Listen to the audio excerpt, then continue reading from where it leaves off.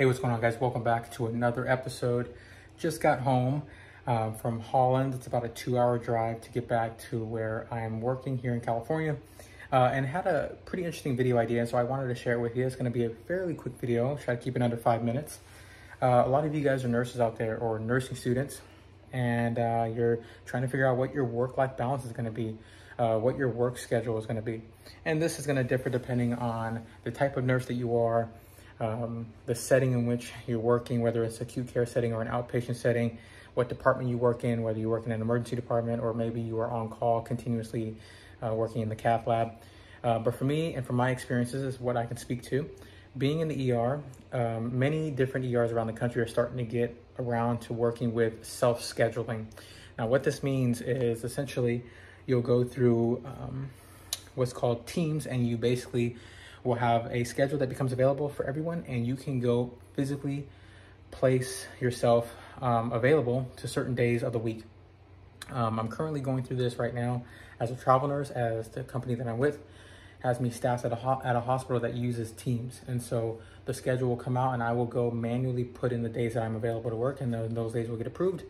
And that's gonna be my schedule for the next month, month and a half. I think it's usually no more than a month and a half in advance, you'll know your schedule. So I think I got this schedule a couple of weeks ago and it's gonna take me all the way until the early part of April. So yeah, coming up on about a month and a half is uh, the gap in which I know my schedule, essentially. And so here is how you can sort of get eight days off uh, in a row continuously throughout your career as a nurse.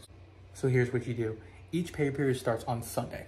So you can schedule yourself to work Sunday, Monday, Tuesday. And like I said, let's say you want eight days off straight in a row without having to use any of your PTO because you plan on going to Dallas, Texas to watch a basketball game and then coming back and then taking a drive to Utah to go um, snowboarding or something. And, and you want eight days off in a row without using any of your PTO. So schedule yourself to work Sunday, Monday, Tuesday.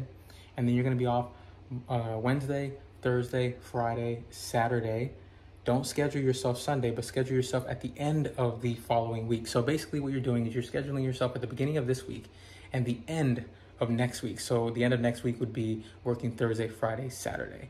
So if I'm working Sunday, Monday, Tuesday, I'm off Wednesday, Thursday, Friday, Saturday, Sunday, Monday, Tuesday, Wednesday. And then you would work Thursday, Friday, Saturday. So that's essentially what you can do in order to get eight days off in a row without ever using any of your PTO.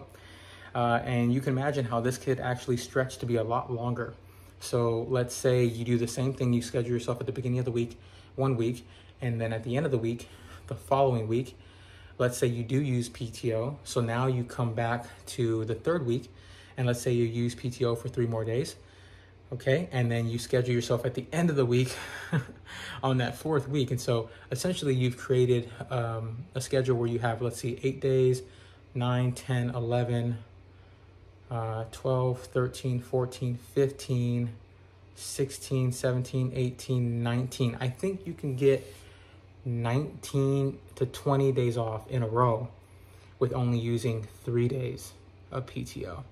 If you want to use six days of PTO, you can stretch this out to basically a month.